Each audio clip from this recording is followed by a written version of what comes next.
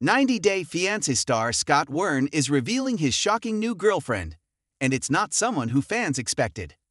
Scott was introduced as Pedro Jimeno's mom, Lydia Morel's American boyfriend, in 90 Day Fiancé, Love in Paradise Season 3. Scott broke up with Lydia because he didn't speak her language and went back to his ex girlfriend Liz. When things between the Colombian woman and him didn't work out, Scott sparked romance rumors with Amanda Wilhelm. As it turns out, Amanda got engaged to someone else and Scott was single again.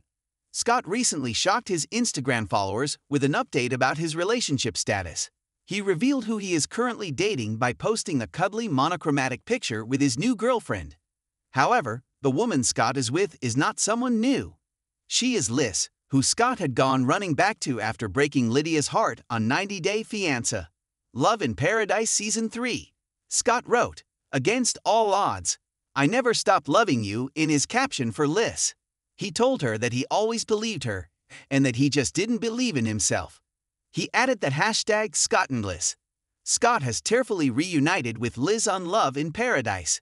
He had previously told Lydia and her daughter Nicole that he was not in touch with his Colombian ex girlfriend.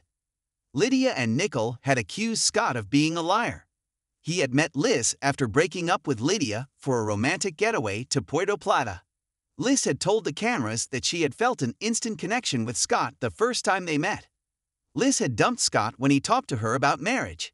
Within two hours of meeting Scott, Liz had left him and said she needed space.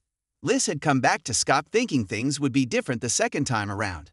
She wasn't okay with Scott acting creepy and desperate. While Liz ended things with Scott then, it's surprising that she'd agreed to get back together with him. Unfortunately, 90 Day Fiancé fans might never find out what really happened between them. In May 2024, Scott announced in a now deleted post that he's not affiliated with the 90 Day Fiancé show and its production anymore. He appeared to have exited the franchise. Scott has been called desperate not only by Liz, but also 90 Day Fiancé viewers. He's tried to get multiple women from the show to date him, He's shown interest in everyone from Tiffany Franco to Debbie Aguero, and his recent crush was Cleo, who dated Christian Allgood but is now single.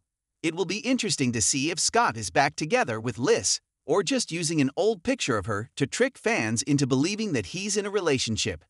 Scott wants to be known as the franchise bad boy, but he's only coming across as hopeless.